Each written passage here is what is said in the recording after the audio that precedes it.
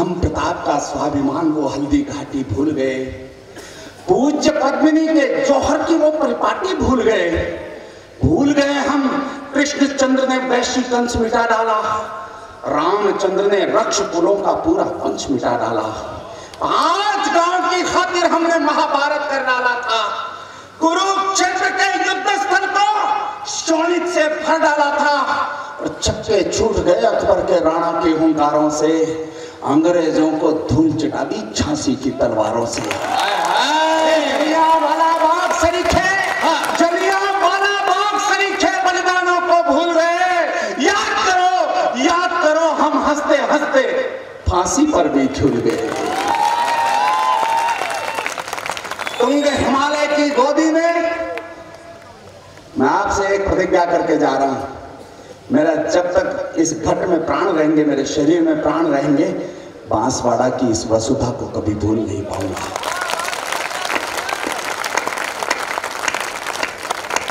तुंग हिमालय की गोदी ने अपना लहू पुकारा है। भारत माँ का मस्तक हमको प्राणों से भी प्यारा है। इस पंक्ति पर मुझे थोड़ा सा ये दिखा दिया करें कि आपको भी उतना ही प्यारा, बस शायद मेरा काम हो जाएगा। निवेदन कर रहा हूँ। कभी गुलामी की जंजीरें कभी घात प्रतिघात सहे। एक सदी के कालखंड ने बेशक जिंदाबाद सहे। अवरोधों ने रुद्ध किया, अवरोधों ने रुद्ध किया, पर कदम हार कर रुके नहीं। इंच इंच कट गए, युद्ध में शीश हमारे झुके नहीं। दो सैनिकों के मस्तक काट लिए गए। हेमराज का मस्तक लौट कर हिंदुस्तान नहीं आया। दिल्ली की भाषा तो यह होनी चाहिए थी कि 24 घंटे के अंदर यदि हेमराज का मस्तक लौट कर हिंदुस्तान नहीं आता तो 24 घंटे बाद पाकिस्तान को तहस नहस कर दिया जाएगा।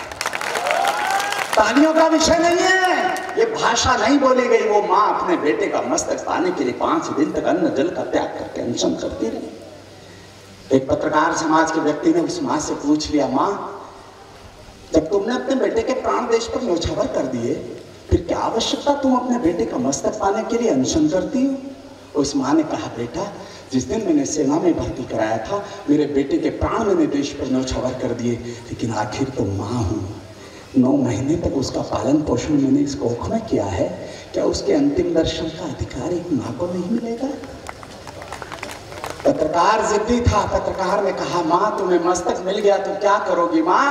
उस माँ ने कहा, बेटा, मेरे बेटे का मस्तक मैं मेरे लिए नहीं चाहती थी, मैं तो ये देखना चाहती थी कि देश के दुश्मन जब सामने खड़े थे तो उसकी प्रकृति का तनाव कैसा था? देश के दुश्मन जब सामने खड़े थे तो उसके जबड़ों की कसावट कैसी थी?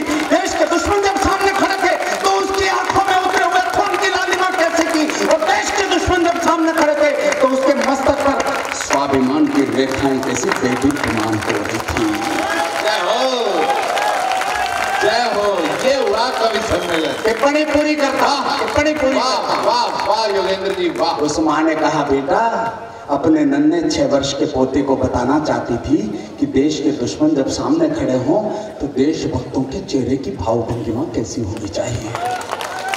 एक वर्ष बाद वो पत्रकार उस माँ से मिलता है। माँ अब तुम्हारे बेटे का मस्तक लौट कर कभी हिंदुस्तान नहीं आएगा, माँ। उस माँ ने रोते हुए पूछा, बेटा, ऐसा क्या हो गया बेटा? उस बेटे ने कहा, माँ, मैं पिछले दिनों पाकिस्तान जाकर आया था। मुझे वहाँ पता लगा कि तुम्हारे बेटे के मस्तक पर वहाँ शोध हो रहा है, अनुसंधान हो रहा है। इस बात का अनुसंधान हो रहा है कि हिंदुस्तान के सैनिक के मस्तक में ऐसी क्या खास बात होती है लेकिन झुकने को तैयार नहीं होते।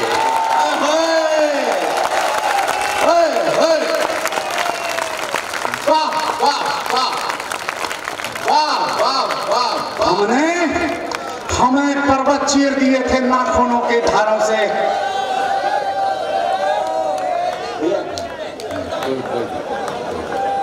हमने पर्वत चीर दिए थे नाखूनों की धारों से।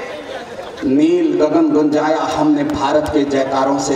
वाह। कदम कदम पर भारत माँ की गर्वित अमर कहानी है।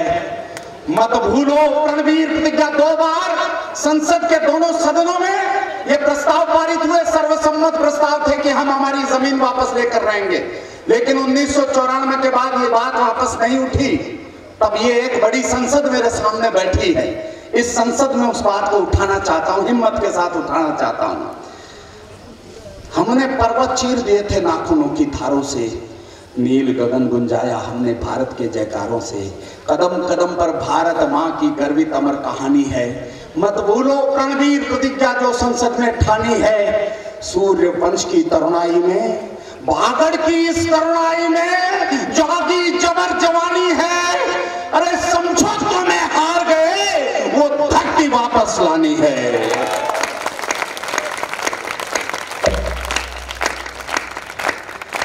काश्मीर के जर्रे जर्रे पर अधिकार हमारा है और भारत माँ का मस्तक हमको प्राणों से से भी- अंतिम पंक्तियाँ पढ़कर अपना स्थान लेना चाहता हूँ आपसे इजाज़त चाहता हूँ। निवेदन वाह। पंडित जी वाह। जिनका पौरुष मर जाता है बहुत अच्छा संचालन मेरे भाई अशोक सुंदरानी कर मैं जिनको सुनने के लिए इस यहाँ पर आया हूँ आदरणीय मुमताज़ जी यहाँ पर विराजमान है। आदरणीय तेज भाई यहाँ पर विराजमान है। जिनको सुनने के लिए मैं भाषण आया। निवेदन कर रहा हूँ।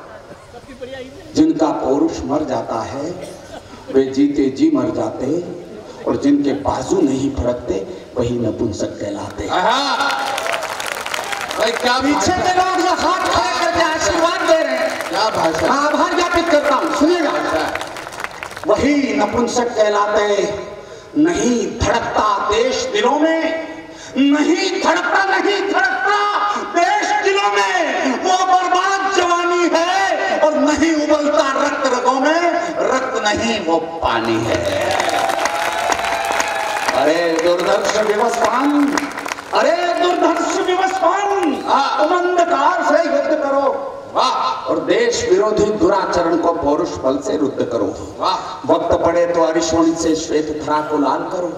प्राण प्रतिज्ञा प्रतिपालन से जग में ऊँचा भाल करो। हिंसक दंभी दुष्ट दरिंदे स्वाभिमान की पंक्ति खड़ी करना चाहता हूँ आपके माध्यम से। हिंसक दंभी! दुष्ट दरिंदे आप लोगों से भी निवेदन कर रहा हूँ। हिंसक दंभी दुष्ट दरिंदे दुश्मन का मत चूर करो, या तो शीश कुचल डालो, या झुकने पर मजबूर करो।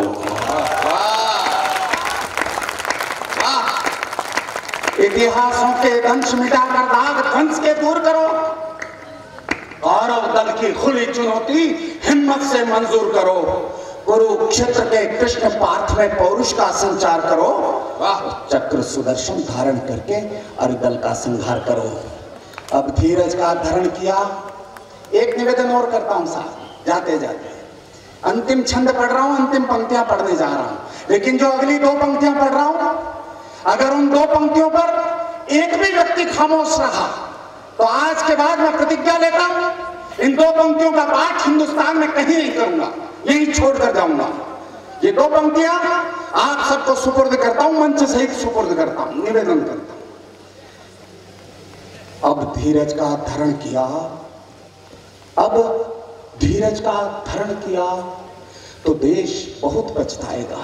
हाँ। सुनेगा सुनेगा भैया? हाँ, अब धीरज का धरण किया अब धीरज का धरण किया तो देश बहुत पछताएगा बहुत पछताएगा। युद्ध घोष कर डालो वरना श्रीनगर बीत जाएगा। युद्ध घोष कर डालो। वाह वाह वाह वाह वाह वाह सच्ची चेतावनी। वाह। सलाम करता हूँ। वाह। सूरज का लाचार समर्पण हमको नहीं गवारा है। आ, सूरज का लाचार समर्पण हमको नहीं गवारा है। देश चरण में मस्तक अर्पण, दृढ़ संकल्प हमारा है। नेत्र तीसरा खोलो, शंकर। नेत्र तीसरा नेत्र तीसरा, खोलो, शंकर। तप्त लहू की धारा है। भारत माँ का मस्तक हमको। भारत माँ का मस्तक हमको। मुझको बुझाने के लिए है आंधियाँ घनघोर पर। मुझको बुझाने के लिए है आंधियाँ घनघोर पर। आंधियों में भी सदा जलता रहूँगा। तेज धारे भी बहाने के लिए अवश्य तत्पर धार के विपरीत भी बढ़ता रहूँगा। है करोड़ों सूर्य लेकिन फैसला मेरा निरंतर। दीप हूँ आलोक का संकल्प लेकर मैं तमस्वी बस्तियों की छातियों पर पाँव धरकर अंधकारों से सदा लड़ता रहूँगा। जय हिंद जय भारत। वो और जब योगेंद्र शर्मा कविता पढ़ रहे थे तो ऐसा लग रहा था जैसे साक्षात विवेकानंद बोल रहा हो। साक्षात विवेकानंद बोल रहा हो। एक बार एक बार दोनों हाथ उठा करके जानदार शानदार तालियाँ पंडित योगेंद्र शर्मा के लिए बजा दें। कई बार इन्होंने सैनिकों के बीच में जाकर के वाकई रेजिमेंट में जाकर के हम जाएगी तुमसे जो प्यार कर लिया हमने। और चार मिसरे ये कि दिल को नाशाद करती रहती हूँ खुद को बर्बाद करती रहती हूँ। दिल को नाशाद करती रहती हूँ खुद को बर्बाद करती रहती हूँ। मुझको डसने लगी है तन्हाई मैं तुझे याद करती रहती हूँ। है तन्हाई मैं तुझे याद करती रहती हूँ और चार मिसरे मुझे ये अच्छे लगते हैं इसलिए बीच में पढ़ देती हूँ कि रंग ही रंग हो सिर्फ़ जिसमें ऐसी तहरीर क्यों मांगते हो? हाँ, रंग ही रंग हो सिर्फ़ जिसमें ऐसी। तहरीर क्यों मांगते हो? जब मैं खुद हो गई हूँ तुम्हारी मेरी तस्वीर क्यों मांगते हो? हाय, हाय। बहुत शुक्रिया। शायरी को सुन के बता दिया आपने। ये इस बात की खुशी है और इस खुशी के इजहार में एक मतला और पढ़ती हूँ कि कर तुलू एतराफ मोहब्बत तुम फसाना बना तो न दोगे। क्या बात क्या बाबा कर तुलू एतराफ मोहब्बत तुम- तुम फसाना बना तो न दोगे। मैं तुम्हें खत तो लिख दूँ मगर तुम दोस्तों को दिखा तो न दोगे हाय, हाय, हाय, हाय, तुम्हें- हाय, हाय। मैं तुम्हें खत तो लिख दूँ मगर तुम दोस्तों को दिखा तो ना दोगे। मना कर रहे और ये ये चार एक बार तालियाँ जोरदार बजा दीजिए मुमताज़ नसीम के लिए। भाई सही वक्त पे सही क्रम था आपका मुमताज़ जी यही क्रम ही था। नहीं नहीं आप लोग बहुत अच्छा सुनते हैं इसमें कोई शक नहीं और मुझे बिल्कुल उम्मीद थी आप लोगों से कि आप लोग कविता को शायरी को गज़ल को नज्म को बहुत अच्छे से सुनना जानते हैं। मैं आप लोगों को अच्छी तरह जानती हूँ और बस दिल में थोड़ी सी थोड़ा सा चोर था जो मैंने आपसे शेयर कर दिया कि हो सकता है कुछ गड़बड़ हो जाए। लेकिन आप सच्चे श्रोता हैं और मेरी उम्मीद पर पूरे उतरे हैं। तो चार मिसरे पढ़ती हूँ फिर उसके बाद तरन्नुम से कुछ शेयर पढ़ूँगी। एक चाहत में चाहत में हर पल दिल का गुलशन महकाना पड़ता है। हाँ, चाहत में हर पल दिल का गुलशन महकाना पड़ता है। खून से लिख करके खत का मजमून सजाना पड़ता है। मैं तो हूँ मुमताज़ तुम्हें इतना बतलाए देती हूँ। शाहजहां बनने वालों को ताज बनाना पड़ता है। हो।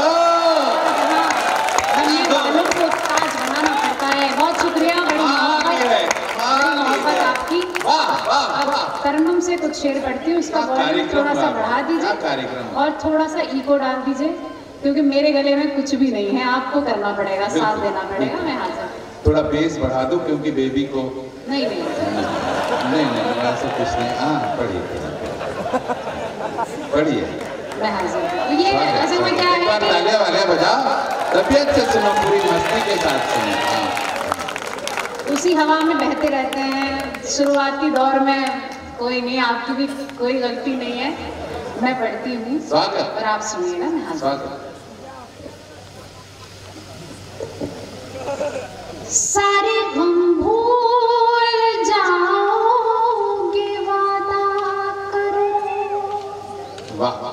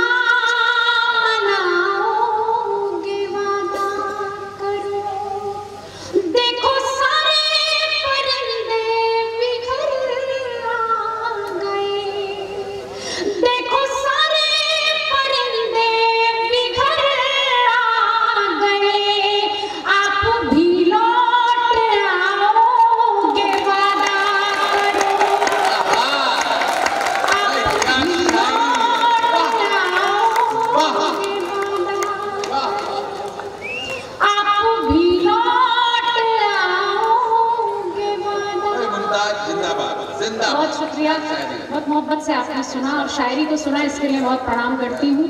कोशिश करती हूँ। क्या बात ये पंक्तियाँ भी आप तक पहुँच जाए आप अच्छा सुन रहे हैं। हर तरफ़ ढूंढती है निगाहें तुम्हें। भरपूर मोहब्बत से भरी हुई ये पंक्तियाँ हैं हाजिर। हर तरफ़ ढूंढती है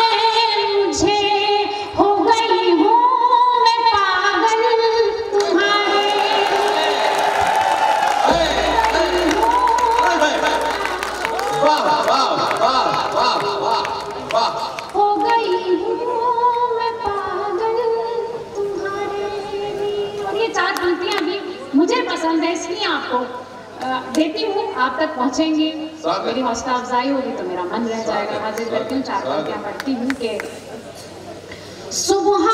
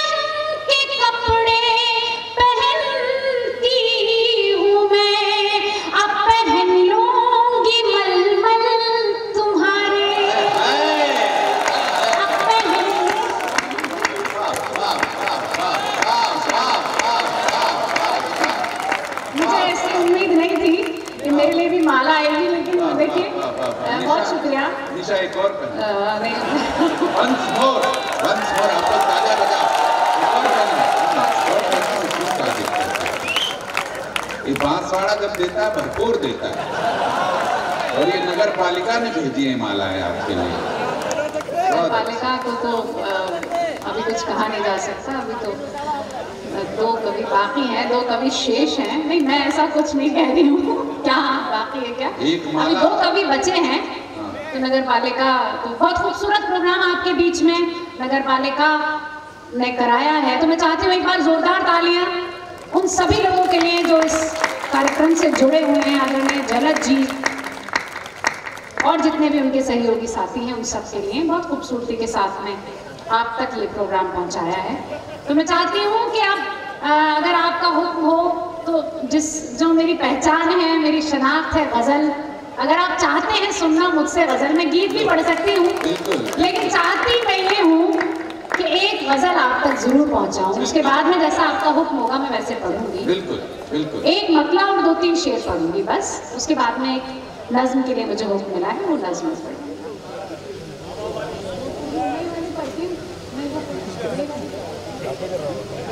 कुछ भी जो भी पढ़िए मैं बस खड़े रहिए आप मतलब अच्छा लग रहा है पढ़ना सुनना।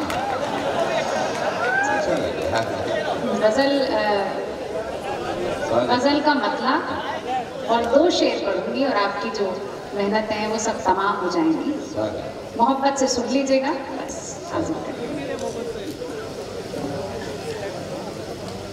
तू जो हो गया किसी और का। ये देखिए, गज़ल के बीच में अगर ये सब ना हो तो फिर काहे की गज़ल? एक बार तालियाँ बजा दीजिए, मेरी हौसला अफजाई कर दो मैं हाजिर हूँ। तू जो तू जो हो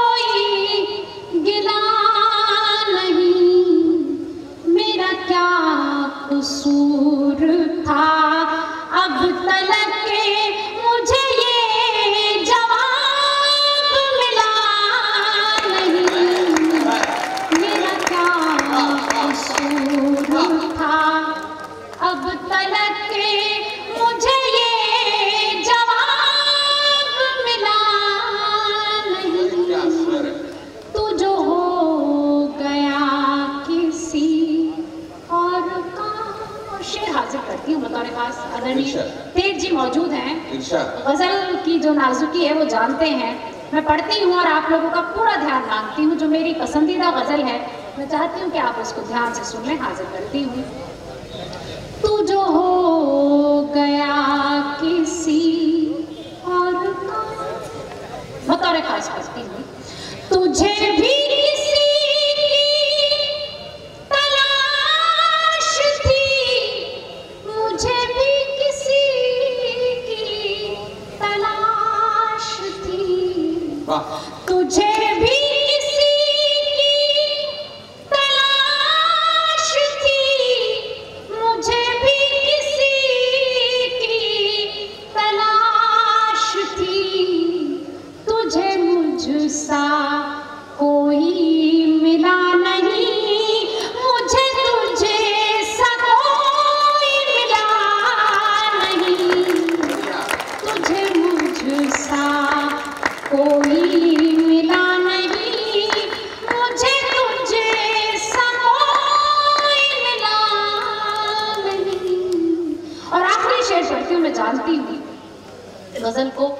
पढ़ना जितना मुश्किल होता है सुनना उससे भी ज़्यादा मुश्किल होता है। आपने सुना आप अच्छा सुन रहे हैं। फ़सल गज़ल का आखिरी शेर कोशिश करती हूँ आप तक पहुँचे। तू सजा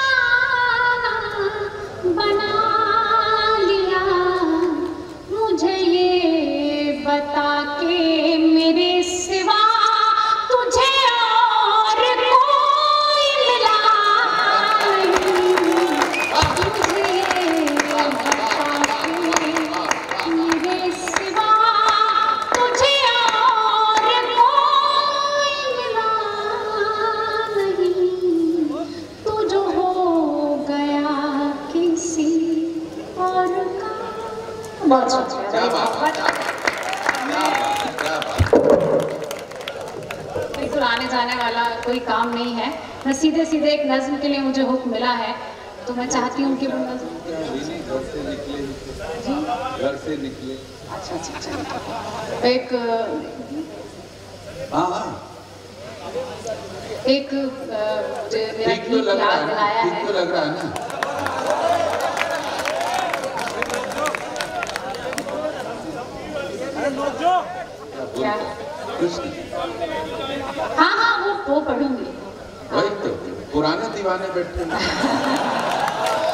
क्या याद है मैं पढ़ती हूँ। वही वही पढ़वा रहा वही वही बोल ही रहा था। स्वागत एक गीत के लिए मुझे हुक्म मिला है मैं वो गीत तालियाँ वालियाँ हाँ बजा दे ऐसे जो है। तालियाँ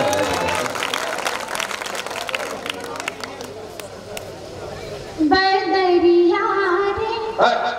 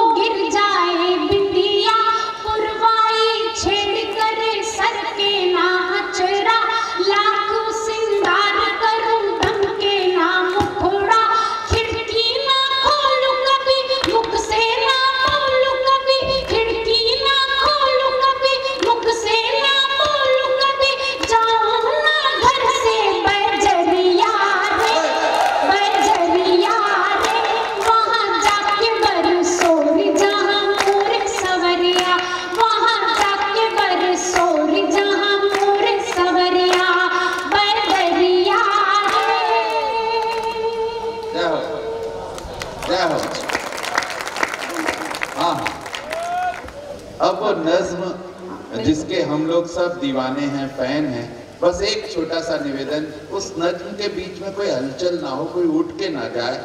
ऐसा लगेगा जैसे भोर की इस प्रथम किरण के फूटने से पहले आप वो नज्म जिसके लिए मुझे हुक्म मिला है मैं खुद भी चाहती थी कि वो नज्म आपके बीच में ज़रूर पढ़ के जाऊँ। बिल्कुल। क्योंकि जहाँ भी मुझे अच्छे सच्चे श्रोता मिलते हैं तो मैं कोशिश करती हूँ उस नज्म को ज़रूर पढूं। इस नज्म का नाम है सरहद पार अजीज़ों के नाम। और सरहद पार से हमारा मतलब सीधे सीधे पाकिस्तान से बात करना होता है। तो आपकी ज़ुबान में मैंने अपने लफ्ज़ गढ़े हैं किस तरह से गढ़े हैं ये आपको बात पहुंचाऊँगी। इस नज्म का नाम सरहद पार अजीज़ों के नाम और इस नज्म में एक लफ्ज़ का इस्तेमाल किया है अज़ीज़। किस तरह से इस्तेमाल किया है ये बात आप तक पहुंचेगी। ऐसी उम्मीद मैं करती हूँ और नज्म यहाँ से शुरू करती हूँ। आप ध्यान में रखें पाकिस्तान को और सुने इस नज्म को। आदरणीय योगेंद्र जी आपने बहुत बार सुना है। लेकिन बिल्कुल उसी तरह सुनिएगा जैसे पहली बार सुन रहे हैं। हाजिर करती हाजिर करती हूँ।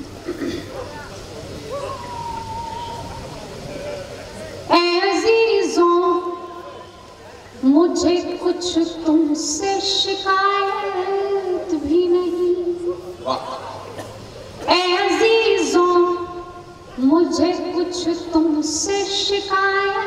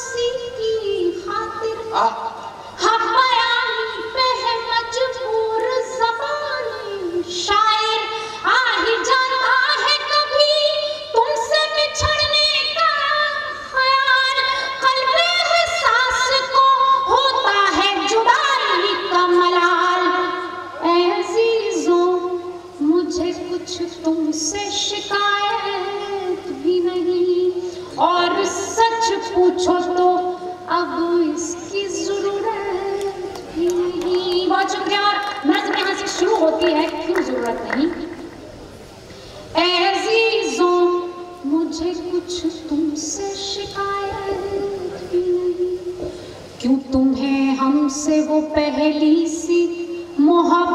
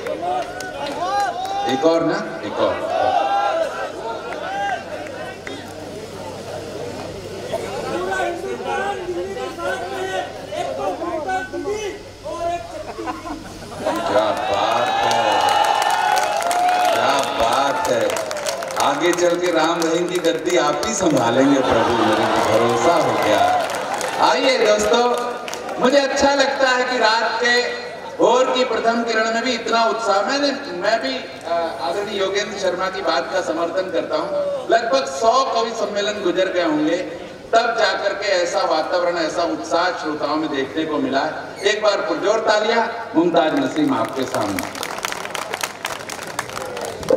तो जिन मुक्तकों के लिए मुझे हुक्म मिला है मैं वो मुक्तक आपके बीच में हासिल हाँ। कर देती हूँ। आप लोगों ने सच में बहुत अच्छा सुना और बहुत दिन के बाद बल्कि बहुत सालों के बाद में इतने अच्छे और सच्चे श्रोता मिले हैं।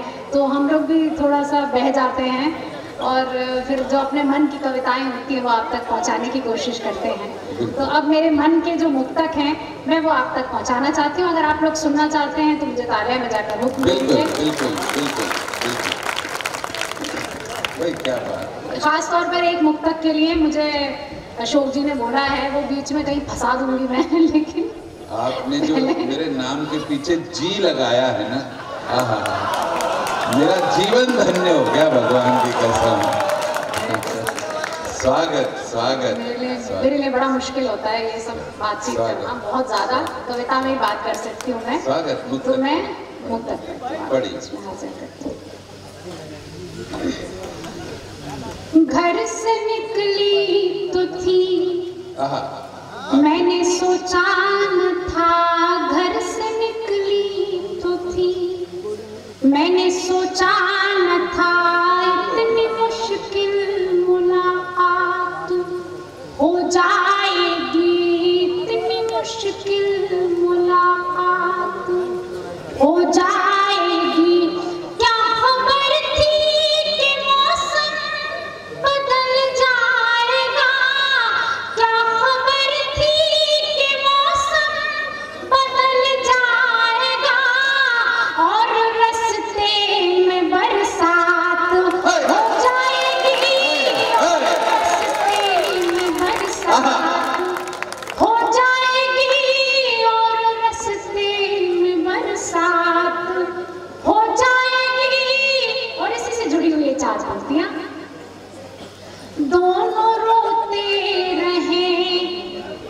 ऐसा रुख मोड़ दो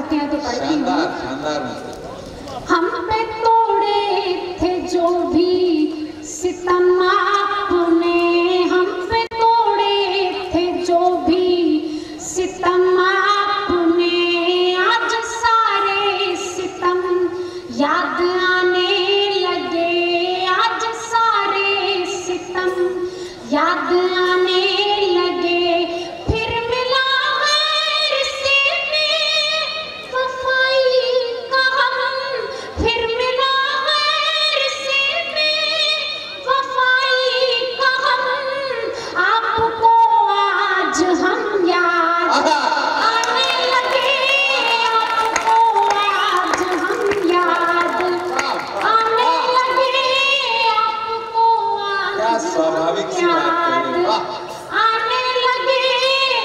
खास तौर पर आपकी फरमाइश का वो मुक्तक पढ़ती हूँ जो सिर्फ़ आप ही की फरमाइश है।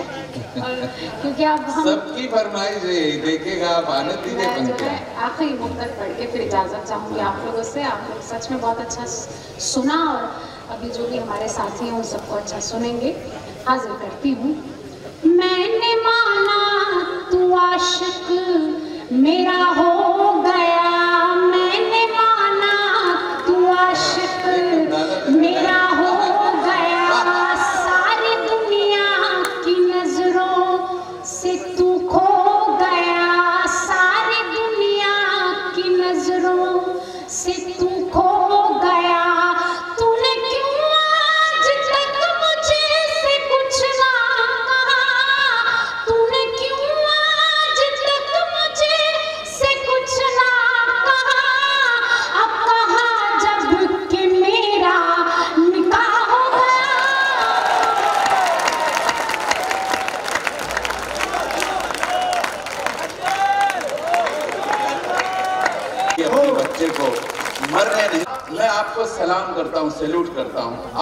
कवि सम्मेलन को आज जिया है।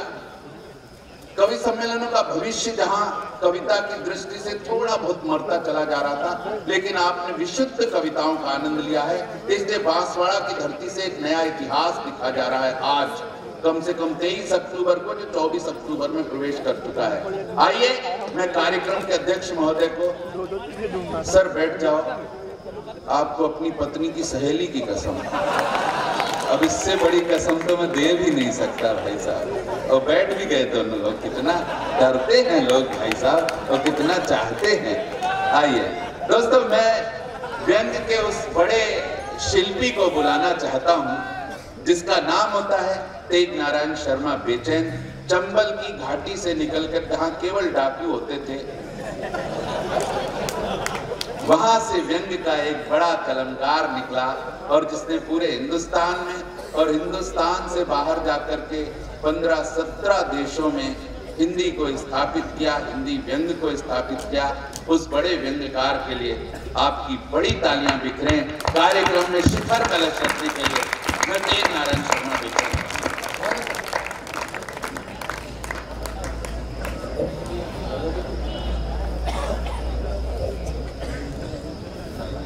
आप सबको मैं प्रणाम करता हूँ। कई बार आपके शहर में मुझे आने का अवसर मिला है। और आज मेरे साथ बहुत बड़ा षड- षड्यंत्र हुआ।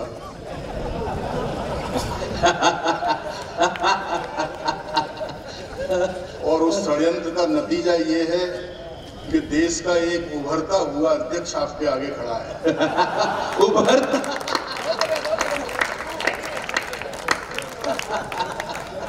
इन्होंने जो मेरा कीमा आज बनाया है देवऋषि नारद ने एक दिन ब्रह्मा जी से पूछा कि मनुष्य से अगर पाप हो जाए तो उसे क्या सजा दी जाती है? ब्रह्मा जी ने कहा, उसे कवि सम्मेलन की अध्यक्षता दी जाती है। चौदह कवियों को मैंने सुना। जब मैं पहले कवि को सुन रहा था तो ये पूरा प्रांगण भरा हुआ था। अब आप सीमित लोग हैं, लेकिन मैं ये अच्छी तरह जानता हूँ कि युग कोई सा भी हो, परिस्थिति कोई सी भी हो, पांडव सदैव कौरवों से अच्छे होते हैं। क्या बात क्या बात है? मैं इन बचे हुए पांडवों को प्रणाम करता हूँ। मेरा सौभाग्य कि आप मेरे हिस्से में आए। आप जितना अच्छा सुन रहे हैं, बहुत अच्छा सुन रहे हैं। मुमताज़ जी ने इतना अच्छा सुनाया कि मेरा मन करता है कि मैं उन्हें चार पंक्तियाँ सौंपूं।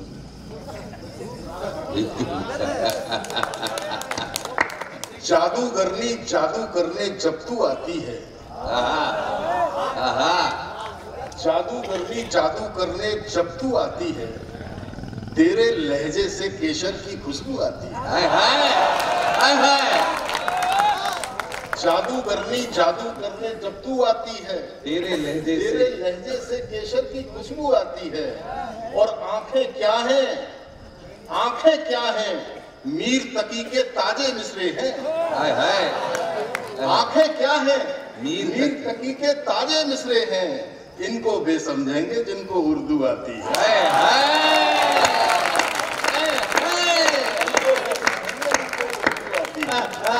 लेकिन आपने उनकी उर्दू को भी समझा आपने उनकी फारसी को भी समझा और उनकी बहर से जो अपनी बहर मिलाकर रखी मैं आपको सलाम करता हूँ। मैं क्रम में हूँ। कार्यक्रम बहुत खिंच चुका है सर्दी बहुत है। चूँकि मैं क्रम में हूँ इसलिए मैं पढ़ूँगा भी। और मैं व्यंग्य की भाषा का कवि हूँ। व्यंग क्या होता है?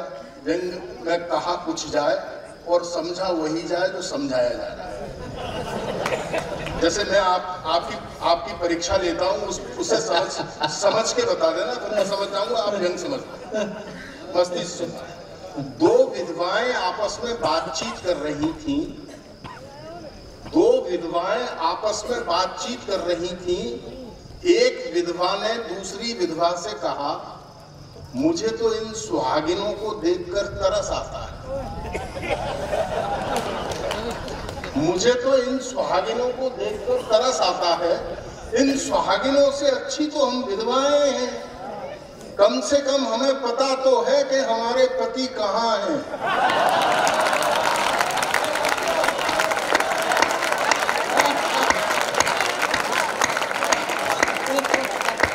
समझते समझ रहे हो ना आप समझ रहे हैं सब समझ रहे ना नहीं? ये रात भर सारे कवियों ने रोना रोया यहाँ पर बैठकर कि देश में ये हो गया वो हो गया वो हो गया देश का कुछ नहीं हुआ दोस्तों देश आदि अनादिकाल से अच्छा था अच्छा है अच्छा रहेगा इस देश में कुछ भी खराब नहीं हुआ इस देश में अगर कुछ खराब हुआ है तो केवल इतना खराब हुआ है कि मैं खुद खराब हो गया हूँ वाह वाह जिस दिन मैंने खुद में सुधार लाना चालू कर दिया देश अपने आप सुधरता चला। क्या बात। हम खुद को सुधार नहीं रहे हम सोच रहे हैं नगर परिषद ठीक हो जाए अरे नगर परिषद क्यों ठीक हो जाए, तुम ठीक हो जाओ, अपने आप नगर परिषद ठीक हो जाएगी। और साहब जंग पर में नज़र देना। जहाँ मेरी दृष्टि गई है, बस मुझे सुन के दिखा देना। मैं आपसे बार बार ये नहीं कहूँगा, ताली बजाओ, क्योंकि ताली वाली बजा करके आप रात भर इतने थक चुके हैं। तालियों से ये कविता छोटी बड़ी नहीं होती, आप सुन लीजिए, मेरा आना सार्थक हो जाएगा, बल्कि आज तो मेरी अध्यक्षता सार्थक हो जाएगी। ये जो इन्होंने मेरी मौत मिट्टी का कार्यक्रम किया इंग्लैंड अपने वैभव से सबको पछाड़ रहा है। इंग्लैंड अपने वैभव से सबको पछाड़ रहा है। अमेरिका अंतरिक्ष में झंडे गाड़ रहा है। जापान ग्यारहवीं विंडो के नज़दीक खड़ा है। ऑटोमोबाइल्स में जर्मनी का जादू तगड़ा है। इधर चीन ने पूरी दुनिया में अपना प्रोडक्ट